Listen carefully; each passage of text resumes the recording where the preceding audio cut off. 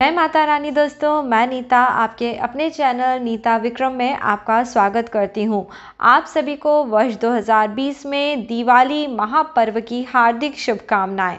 आज हम बात करने वाले हैं धन त्रयोदशी अथवा धनतेरस के विषय में। धनतेरस के दिन यदि आप भी धनवान बनना चाहते हैं तो जानिए इस दिन के विशेष उपाय। कब आपको सामान खरीदना है? कब आपको धन त्रयोदशी का पूजन करना है? और कब यम का दीपक लगाना है, जिससे कि आपके जीवन में जो भी दुख, शोक, कष्ट, संकट इत्यादि चल रहे हैं, वह सभी दूर हो जाएँगे। तो जल्दी से माँ लक्ष्मी के नाम का जयकारा लगाएँ और धन त्रयोदशी के विषय में जो जानकारी अब मैं आपको बता रही हूँ, उसे ध्यान से सुनिए। धन त्रयोदशी का त्यौहार 13 नवंबर 2020 की तारीख को मनाया जाएगा। इस दिन शुक्रवार का दिन है। इस दिन को माँ वैभव लक्ष्मी का दिन भी बताया जाता है। शुक्रवार का दिन जीवन में शुभता बढ़ाता है, धन, सुख, सौभाग्य आदि की प्राप्ति कराता है। धन त्रयोदशी का त्यौहार 13 नवंबर 2020 को है। त्रयोदशी तिथि का प्रारंभ 12 नवंबर रात में नौ बज के तीस मिनट पे होगा एवं त्रयोदशी तिथि की समाप्ति शुक्रवार को शाम में छः बजकर एक मिनट पे होगी। धन त्रयोदशी का दिन बहुत ही विशेष होता है। इस दिन भगवान कुबेर का पूजन करा जाता है एवं भगवान धन्वंतरी जी का भी पूजन करा जाता है। धन त्रयोदशी के दिन पे यम का दीपक लगाया जाता है, जिससे परिवार में किसी के ऊपर भी संकट ना आए, सभी की आयु की रक्षा हो, सभी लोग स्वस्थ बने रहें। सबसे पहले आप शुभ मुहूर्त लिख लीजिए। अब पूजा को लेके मैं आपको दो बातें विशेष तौर पे बता रही हूँ। दिवाली का त्यौहार दीपक प्रज्वलित करने का त्यौहार है, पूजा साधना का त्यौहार है। इस समय पे करी हुई विशेष पूजा से मनोवांछित फलों की प्राप्ति होती है। तो आपको जो दीपक जलाने हैं, दीपक जैसे ही शाम का समय हो तब जलाने चाहिए। तो दीपक जलाने का विशेष मुहूर्त, जिसे हम धनतेरस पूजा मुहूर्त कहते हैं, ये शाम में पाँच बज के चौंतीस मिनट से लेके छः बज के एक मिनट तक रहेगा।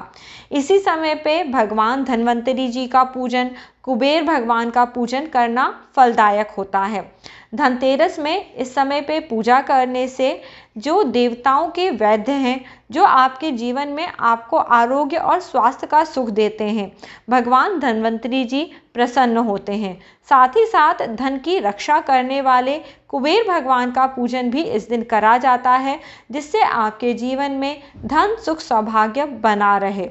इस दिन पे आप खरीदारी करते हैं, बर्तन लाते हैं, सोने, चांदी इत्यादि के जवाहरात भी लेके आते हैं। यह दिन बहुत ही शुभ होता है, क्योंकि इस दिन पे माँ लक्ष्मी साक्षात आपके घर पधारती हैं। जी हाँ दोस्तों, दिवाली का त्यौहार पाँच दिन का त्यौहार होता है। पहले दिन में महालक्ष्मी आपके घर आती हैं। इसलिए इस दिन से पूजा पाठ और मंत्र जाप ज़रूर करने हैं। मंत्र जाप के लिए प्रदोष काल, जो कि शाम में पाँच बज के अट्ठाईस मिनट से शुरू होके आठ बज के सात मिनट तक रहेगा। इस बीच में आपको पूरे समय जाप इत्यादि करने के लिए शुभ समय है तो आप इस समय का सदुपयोग करिए। जिन लोगों के पास धन संबंधी दिक्कतें हैं, उन्हें माँ लक्ष्मी का जाप करना चाहिए। जो लोग किसी भी तरह की बीमारी से, रोग से पीड़ित हैं, उन्हें भोलेनाथ के महामृत्युंजय मंत्र का जाप करना चाहिए। ये दोनों ही मंत्र मैं आपको बता रही हूँ। ध्यान से सुनिए, जिन लोगों को धन चाहिए, वह महालक्ष्मी के ये मंत्र का जाप करें। ओम श्रीम हीम श्रीम कमले, कमलालय, प्रसीद प्रसीद। श्रीम हीम श्रीम ओम महालक्ष्मय। इस मंत्र का जाप करके आप अपने घर में श्री यंत्र के सामने भी कर सकते हैं। माँ लक्ष्मी शहरी विष्णु जी की मूर्ति के सामने कर सकते हैं और उन्हें प्रसन्न कर सकते हैं। मंत्र जाप के विशेष लाभ होते हैं। मंत्र जाप करने से आपके घर में उस तरह की ऊर्जाएँ उत्पन्न होती हैं, जिससे कि आपकी समस्या का समाधान हो पाए। अब जिन लोगों की तबीयत खराब है, वह महामृत्युंजय के मंत्र का जाप करें। उसमें संपुट लगा के करेंगे तो और अच्छा है। मैं आपको बोल के बता देती हूँ। ओम होम जूम सह, ओम भूर्भुव स्व ओम त्रयंबकम यजामहे सुगंधिम पुष्टिवर्धनम, उर्वारुकमिव बंधनात् मृत्योर्मुक्षीयमामृतात्। ओम स्व भुवभूर, ओम सह जूम होम, ओम। अब मेन बात आती है यम का दीपक लगाना। जी हाँ दोस्तों यम का दीपक आपके परिवार की समृद्धि की रक्षा करता है। आपके परिवार को अलग अलग तरह के कष्टों से बचा लेता है। यम का दीपक लगाने से ऐसा कहते हैं, यम भगवान प्रसन्न होते हैं और अकाल मृत्यु से घर के लोगों की रक्षा करते हैं। यम का दीपक, आप शाम के समय लगाइए। इसे अपने घर की मुख्य द्वार के बाहर रखना होता है। एक दीपक ले लीजिए। थोड़ा सा एक बर्तन में अनाज ले लीजिए। जी हाँ अनाज ज़रूर लेना है। कोई भी अनाज हो सकता है, चाहे आप चावल लें, गेहूँ लें, कोई भी अनाज ले लीजिए। एक दीपक को एक प्लेट में रख लीजिए, जिससे कि दीपक का तेल या कोई भी चीज़ उस अनाज में मिक्स ना हो। ये दीपक आप आटे का ले सकते हैं, दीपक मिट्टी का भी ले सकते हैं। जैसा भी आपको दीपक मिले, वो ले लीजिए। इसमें तिली का तेल डाल सकते हैं। और इस दीपक को जला सकते हैं।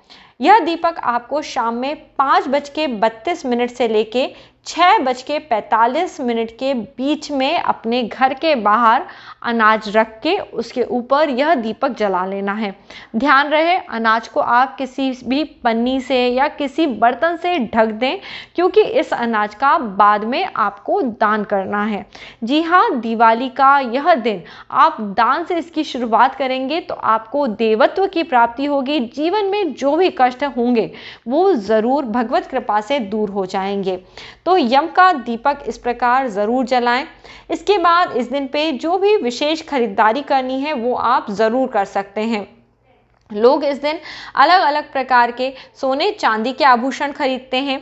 चांदी खरीदने से आपके घर में माँ की कृपा होती है, लोगों के मन में अच्छे भाव उत्पन्न होते हैं, यश, कीर्ति, सुख, सौभाग्य की वृद्धि होती है।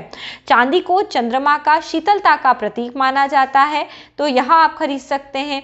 इसके अलावा पीतल के बर्तन, तांबे के बर्तन, यह भी खरीदे जाते हैं। इस दिन पे भगवान धन्वंतरी जी समुद्र मंथन से प्रकट हुए थे। उनके हाथ में अमृत कलश था। तो आप अमृत कलश के हिसाब से जो भी बर्तन लेके आए, ऐसा भाव रखें कि यह वही अमृत कलश है जो भगवान धन्वंतरी जी लेकर प्रकट हुए थे। इस दिन पे लोग अपने घर में पूजा पाठ करते हैं। खील, बताशे इत्यादि भी इस दिन खरीदे जाते हैं, जो मिट्टी के बर्तन होते हैं, जैसे मिट्टी के दिए इत्यादि इस दिन खरीदना शुभ होता है। कई लोग नई मूर्तियाँ खरीदते हैं, मिट्टी की मूर्ति खरीदना ही सर्वश्रेष्ठ होता है। ध्यान रखिए, इस दिन आप गलती से भी प्लास्टर ऑफ़ पेरिस की बनी हुई या कोई इस तरह की मूर्ति ना ले लें। कई लोग इस दिन पे श्री यंत्र खरीदते हैं, जिससे कि उनकी धन संबंधी दिक्कतें दूर हो जाएँ। आपकी पॉकेट यदि अलाउ करती है तो खरीदिए, वरना आप किसी पेपर पे बना हुआ श्री यंत्र भी लाके उसके सामने जाप करिए और उसे सिद्ध करिए, आपको उतना ही फल प्राप्त होगा। साथ ही साथ, इस दिन लोग अपने घर की ज़रूरत का सामान खरीदते हैं, जैसे कि fridge, washing machine, mixer grinder, dinner set, furniture इत्यादि भी लेते हैं।